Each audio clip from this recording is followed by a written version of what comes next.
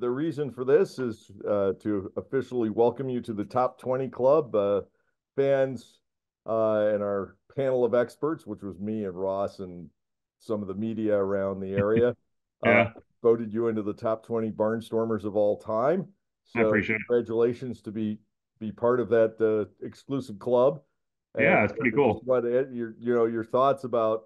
Uh, I guess we'll start with the the trade in 2005 because it was probably the best player for player trade that we've made in our history. We saw what you could do at Clipper Magazine Stadium while we were while you were with Newark, and mm-hmm. uh, Keith Lupton, Tommy Herr brought you in, and you had two and a half pretty good years. Yeah, yeah, you know that the trade came uh, really surprising because it was right before I think um, like we're having a break for Fourth of July or some some kind of break that we're going on. I can't remember the exact date and everything, but um, but yeah, we're supposed to have a, a few days off and everything, and then uh, got traded, and you know I was, I was, pretty happy about it. I wasn't real happy in Newark.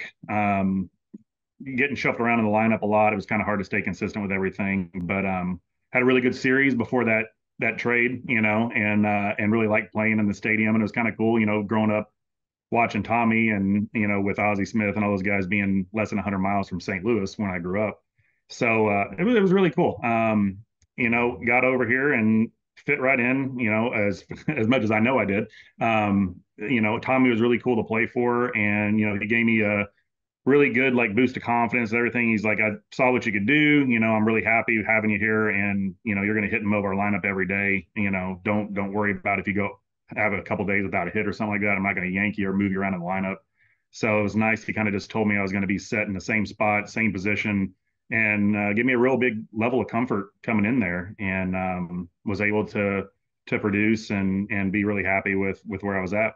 Yeah, the 2005 team didn't make the postseason, but at the same time, that second half, you sort of got the feeling that something special was building. Eh, and we got to experience that coming to fruition in 06 yeah yeah i mean it was really cool you know getting used to playing with you know with like quincy and uh, and travis hake hitting in front of me and then having ryan, Ryan Minor in the back you know behind me and everything we had a really good lineup and it almost seemed like it was set up kind of like we had the you know like the cardinals lineups early on you know we had you know the two fast guys on the top and then the guys that can make contact and drive everybody in um, you know very similar to the way they did in St. Louis. And obviously, Tommy was part of that. So he kind of agreed with that kind of philosophy. Um, we had really good guys up and down the lineup all the way through in 05. And then, you know, 06 was really nice. You know, I um, was able to, you know, to get picked up by the Dodgers, you know, the first half of the season. And um, for whatever reason, that just didn't, didn't work out. Um, had some younger guys that they wanted to get some looks at and everything. And came back and was just really happy to be back, honestly. Um, probably had the, the best second half of my of my life, you know, playing that season and uh, you know winning the championship. It was it was really a, a good cohesive unit, and coming into there, you know, it was really really nice to have a lot of guys you could count on and and play together and, and do well. You know, we pretty much felt like we could beat anybody at any point, and, and it kind of showed that year in 06. Stadium with the white towels.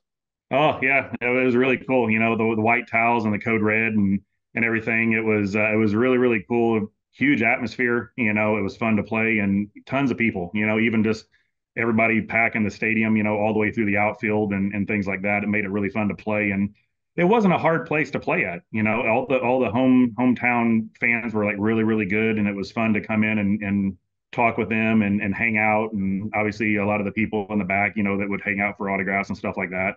And, um, you know, everybody always had your best interest at mind, you know, and nobody was trying to, uh, undermine you with anything and just wanted to lift you up and, and play well for the team. So it, it was a really fun place to play at.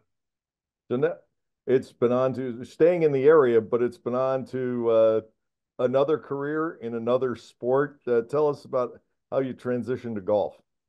Uh, well, uh, I, I, tried my hand at, uh, at a real job, you know, for a little bit. Right when I got done with baseball, I was an estimator for a construction company for a while, and then our economy tanked, you know, and uh, and everything went downhill. And so I I knew I always wanted to work in golf, and I didn't want to like give up on you know some of the mechanics and the swing that I worked on my whole life. And you know, so went in, started working at um, you know a couple small courses, just get my foot in the door. And I think I was at Treetop for half of a summer, just trying to get my foot in the door with it, which was a small executive course, kind of like. Uh, you know, you're talking about earlier, and uh, and then I got a job at Crossgates in Millersville, and um, you know, from that point on, I started getting into the PGA program, went through all that, and um, got my Class A PGA membership after working at a bunch of other courses in the area.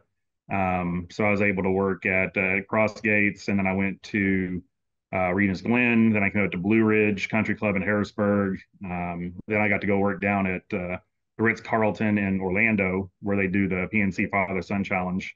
So I got to do that for uh, for a little bit. Whenever our greens all died, you know, we had some uh, some nasty stuff going around that that messed up a bunch of the golf courses around here. And um, so got a good break and went down there and you know, it's just one of those things where I enjoy it and it's something that I can do the rest of my life. And, you know, it was nice to nice to get away from the baseball swing, but like work into something else because the ball is just sitting on the ground, you know. challenging Scheffler anytime soon? uh what's that? Are you challenging Scheffler anytime? Uh probably not. Probably not. Um I, I can hold my own pretty good. I uh I play play decent. Uh, obviously, behind me, you can see I got the simulator set up at my house, so I hit balls in here all the time and uh, do a lot of lessons out here and work on everything with everybody. But um, you know, I, I, just I enjoy teaching more, and you know, what a lot of people say is if you want to play a lot of golf, don't be a golf pro. you know, if you get into it, it's it's, it's a lot of work. And um, I remember saying like or seeing once I passed my playing test, you know, for the PGA stuff.